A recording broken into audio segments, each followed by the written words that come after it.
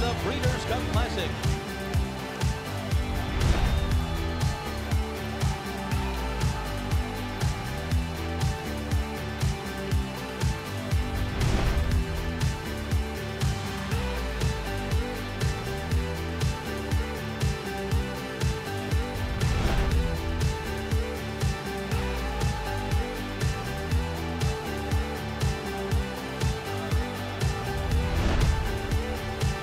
Collected and Gun Runner. They've been battling since the gates opened. Gun Runner's got the lead.